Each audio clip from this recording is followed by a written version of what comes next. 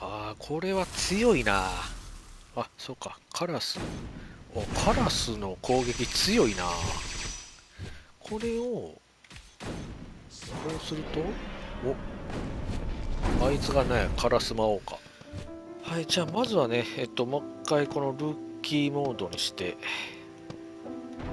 実際でもあのルーキーモードっていう名前が良くないというかねやっぱりあのほらプライドにかけてそんなイージーモード的なやつを私はやりたくないですねっていう人もまあいると思うんですけどこのね自分のこのパワーアップまあこの間も言ったけどこの左側の縦2列この6つ最低でもこの6つをもうあのレベル10最高までレベル上げるぐらいまで強化してからじゃないとなかなか辛いのでとりあえずこの6つの強化が終わるまではルーキーモードにしてとにかく基本なるべく先に進むようにしてでさっさと魔石を貯めてね上げちゃった方がいいと思います。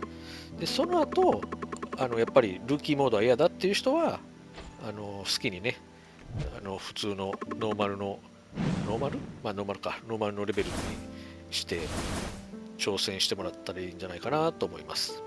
でですね、あの前回のあの簡単にこれでこれでクリア狙えますよっていう動画を作ったんですけど、タイトルにね、あのウィザード編って入れたので、ひょっとしたらウィザードじゃないとできないんじゃないのかっていう誤解を与えてそうだなと思ったんで、ちょっとそこだけね、あのもう一回、もう一回というか、あの別に、なんていうの？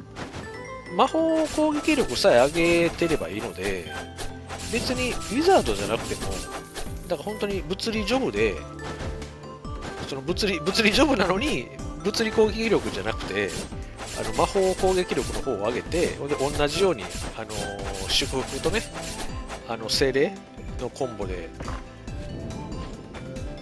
オベロンを召喚するっていうところまで行っちゃう。あ、早速デスが出たな。まあ、デス、まあ、祝福が揃ってからでもいいんですけどね。まあ、とにかくあの、物理ジョブでも、あの構成にしまえばいいんだぜっていうのを、まあ、お見せしようかなって思って、今、その動画を発撮り、喋りながらね、一発撮りできたら一番いいなと思って撮ってます。あウィザード。ウィザードが出ちゃったな。本来ならもうこのウィザード取ってウィザードとしてあのレベル上げていったらいいと思うんですよ。この間の簡単クリア動画を撮ったと同じような感じでやったらいいと思うんですけど、まあ、それやとでもね、結局同じことになるんで、あえて今回はこれ終わります。とにかく最初はどんなジョブでもそう、あのー、とにかく骨。とにかく骨でレベルを上げるっていうことが大事。でね、あのー、物理ジョブでも魔法攻撃力上げりゃいいんだよっていう話してて、えーと、物理ジョブなんでもいいんですけど、このコソ泥ね、コソ泥今何になった？盗賊になったか。こいつで倒してると自然とあの普通にやってるよりお金が貯まるので、まあ何でもいいので、じゃあまあお金が貯まるこのコソ泥でええかっていう感じでいきましょう。ちなみにさ、あの骨が出てない時は当然ですけど、こっちの方が明らかにグレード高いじゃないですか。こういう時はもう普通に迷わずグレードの高い方に入るって感じで。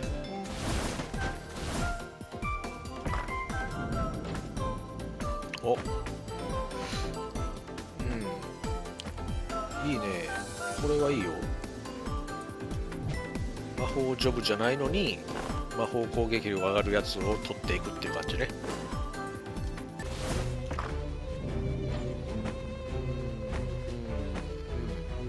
ああ、祝福出た。当然取ります。これで、えーと、早速魔法攻撃が438になってるけどただ今の状態では魔法は打てないのでね。あのー、精霊まあ一応デスがついてるけどだから本当に現時点ではすごい無駄なことをしてるんですけどおレジェンダリーが3つ並びました。ああ欲しいな。えー、はいはい。ああもうこれはこれやな。放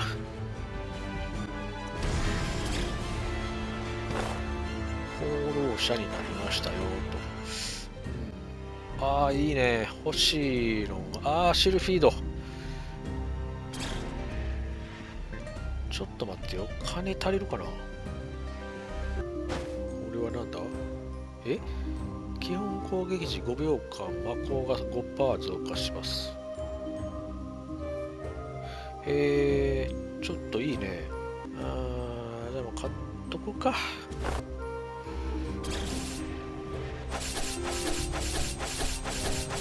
あなるほど。おおすげえすげえ。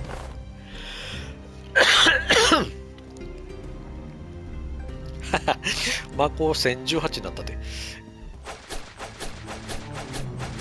あこの石像でもあれはたまるな。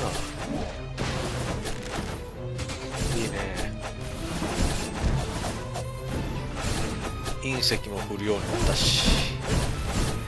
あー強いわ。あ大魔導士が出てる。これは悩むな。大魔導士もねめっちゃ強いのよね。てかあのウィザード期待出ても大魔導士出たら大魔導士に変えてもいいぐらい。これをちょっと待ってよ。ここで23まあいやもう大魔導士捨てるわ。一応ねやっぱり初子貫徹しよう。えー、っとまず取ってで割る。ほんまやったら大魔導士はあれよ。持っていくものよ。ああ、あ、ちゃうわ。えっ、ー、と、こういう時に、骨安い5が出た時に、この、えー、チェンジして、こいつに変えて、で、こいつやと11なんで、これを、えー、割る。はい、これで100到達。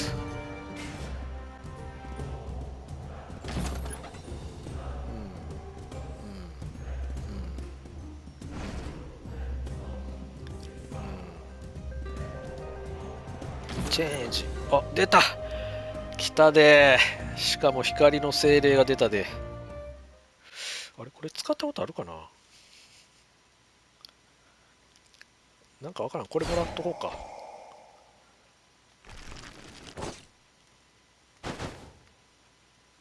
お、なんやこれ。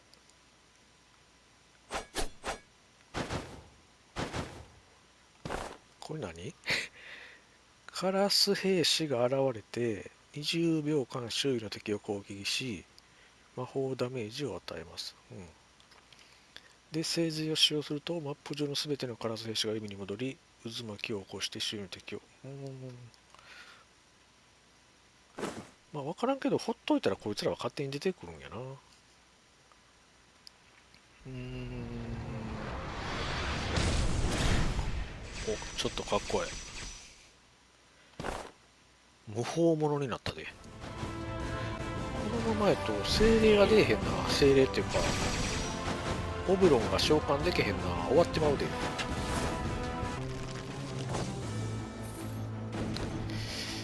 間に合わんのか。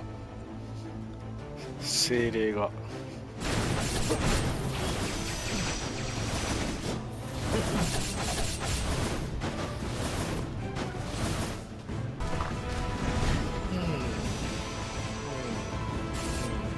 やべえな。ここまで来てまさか精霊が揃わんとは思わんかったな。このショップで精霊が出えへんかったらオベロン召喚できず。ん？あそうか。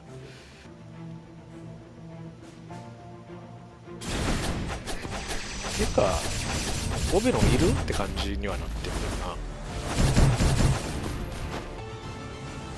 あ出なさそう出なさそうね。1300。1回だけしか無理やな。はい、来い。あかんか。出てないな。あ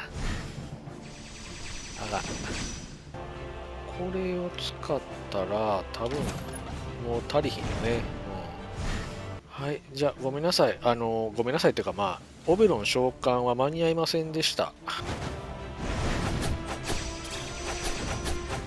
まあでもね、あの皆さんあの、今の状態見てもらって、分かる、お分かりやと思うんですけど、オベロンいるって感じにはもうなってるんで、これでもね、十分強いよねっていう。一応、じゃあステージ5のノーミス？ノーミスじゃねえや、ノーダメ？ノーダメ討伐を一応頑張ってみます。だから基本は攻めない。攻めなくて、避ける。攻めずに避ける。これでいこう。さて。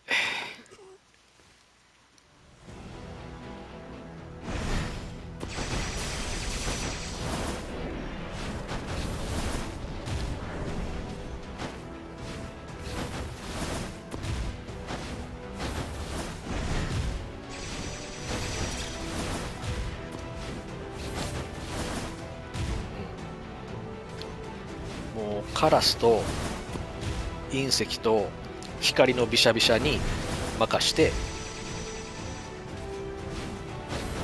ていうかあのカラスの殴り結構強いな。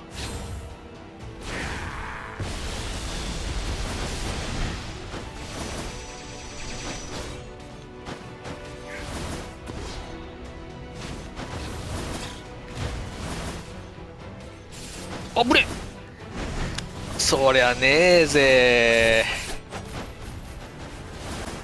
もうダメージ食らっちゃったし倒すか。